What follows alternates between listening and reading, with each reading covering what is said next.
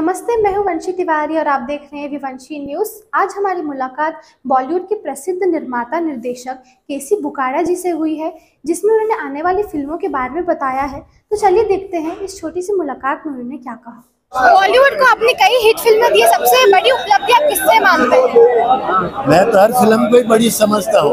मेरा तो हर फ़िल्म ही लाइक बड़ी से बड़ी फ़िल्म है। श्री जान यादगार फ़िल्म है। हर फ़िल्म ही यादगार नहीं तो मैं बनाऊ ही नहीं।